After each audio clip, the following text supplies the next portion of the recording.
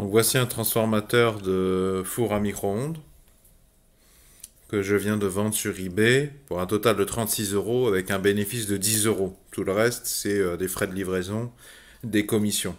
Et ça pèse euh, allez, entre 6 et 7 kilos. Et je vais devoir payer un affranchissement simple au poids avec numéro suivi pour un 10 kilos, jusqu'à 10 kilos. Et moi, je l'ai touché à 0 euros quasiment, puisque ça vient d'un micro-ondes abandonné dans un local à poubelle. Donc euh, tout ce que j'ai payé, c'est le risque lors de la démonte, le temps, l'énergie de démonte. Et donc, euh, ce que je vous conseille, c'est que quand vous recevez un colis, moi j'achète régulièrement sur Amazon ou ailleurs, vous gardez un emballage de chaque dimension, parce que ça pourra vous servir. Quand ils sont euh, pliés, ça prend pas tellement de place. Hein. Donc voilà, j'ai trouvé euh, mon emballage. Comment je l'ai choisi? Eh bien là, il faut s'adapter en fait beaucoup à ce qu'on met dedans. Là, on est sur un objet qui est quand même mine de rien très lourd, dense, c'est-à-dire que le poids est concentré et qui a été découpé à la machine industrielle, ce qui fait que les arêtes sont très saillantes. Euh, on est susceptible de couper très facilement le contenant.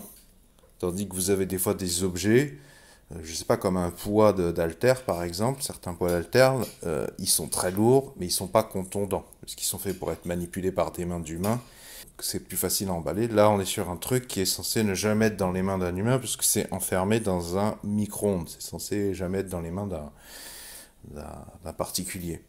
Et donc, outre euh, le rembourrage, les matériaux qu'on va utiliser pour le caler, pour, pas que le carton casse non plus, euh, soit déchiré trop rapidement, moi je vous conseille de choisir un carton qui soit pas trop grand. D'ailleurs, si j'avais un truc plus resserré, ce serait encore mieux de manière à ce qu'il puisse moins se balader facilement dans, l'emballage. Mais j'ai pas plus petit que ça, il faudrait que ça s'arrête là. Vous voyez que j'ai assez d'espace pour bien rembourrer, surtout qu'il va tasser ce qui est en dessous de lui. Assez d'espace donc pour rajouter du rembourrage, mais pas trop non plus, pour pas qu'il puisse bouger trop lors du transport.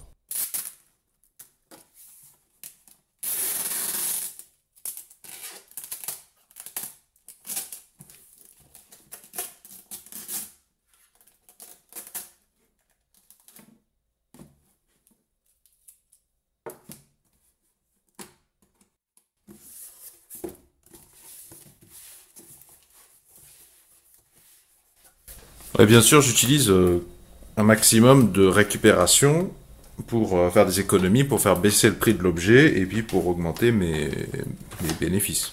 Ou en tout cas pour taper le moins possible dans le bénéfice.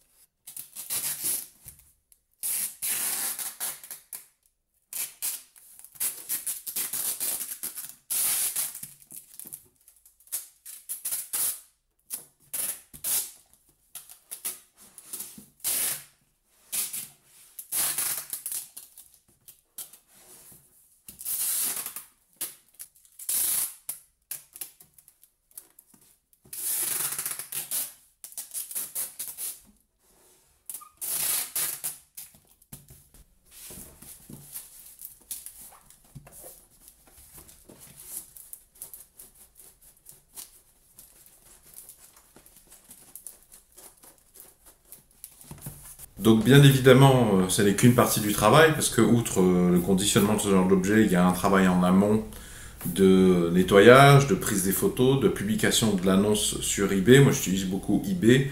Si ça vous intéresse, je vous mettrai des annonces, euh, des exemples d'annonces ou des images des, annonces, puisque comme je vends un par un, je fais du personnalisé chaque fois que j'ai vendu. J'ai dû en vendre 3 ou 4 déjà, ça doit être mon quatrième ou mon cinquième vendu mais quand c'est déjà vendu, la page disparaît de, de, eBay. Donc vous mettrai une page actuelle d'un autre, euh, autre transformateur équivalent ou des, des, screenshots de pages euh, vendues précédemment dans le passé. Et il y a aussi donc un travail en aval. Maintenant, il va falloir que j'aille euh, dans un bureau de poste. Alors là, du coup, il va falloir beaucoup s'adapter à vos conditions de terrain il faut trouver un jour et une heure à laquelle il n'y a pas trop de, de, gens, de queue euh, au bureau de poste. Donc ben, ça dépend beaucoup. Hein. Euh, moi j'ai déménagé récemment. Avant, il valait mieux que surtout ne pas y aller un mercredi après-midi, ne pas y aller un lundi matin, ni même un lundi après-midi parce que les gens n'ont pas pu poster samedi ou dimanche, donc ils y vont lundi. Le mercredi après-midi, c'est beaucoup de gens du, du temps libre, donc ils en profitent. Ça, ce sera à vous de faire vos tests euh, de terrain. Donc moi, je vais dans un bureau de poste, je vais à une machine, je franchis tout. J'ai pas besoin d'écrire l'adresse sur le colis puisque je vais la taper sur la machine. Sur la machine, au début, je peux me connecter à mon compte La Poste parce que forcément, ou, à fur et à mesure de... J'utilise déjà, j'avais déjà un compte euh, La Poste pour envoyer des recommandés avec accusés de réception ou pour envoyer des, enfin, demander à, la poste d'imprimer une feuille, par exemple, quand j'ai pas d'imprimante, et de l'envoyer directement à la personne de mon choix, que ce soit une administration, un membre de ma famille. Et du coup, sur certaines machines, vous pouvez vous connecter à votre site de la poste. Euh, il suffit d'avoir votre euh, adresse email et votre mot de passe. Et c'est pas mal parce que du coup, quand votre colis arrive, pour une expédition avec euh, numéro de suivi, hein, quand votre colis arrive, vous recevez un, mail de confirmation. Donc ça, c'est pas mal. Et en plus, ça, ajoute au chiffre d'affaires que vous générez à votre espace La Poste. Donc La Poste est plus susceptible de s'intéresser à vous. Le jour où vous avez un problème, ils vont voir combien de ventes, euh, ce que vous leur arrivez à rapporter. Si vous enregistrez pas vos... les fois où vous leur achetez un service, bah, du coup, le jour où vous avez un problème et ils vont voir votre historique, il y a plein de transactions qui n'apparaîtront pas. Et donc, bah, ils risquent de vous traiter avec moins de considération, de faire moins attention à votre dossier. J'ai pas le chiffre en tête de combien me coûte l'affranchissement pour un colis 10 euh, kg.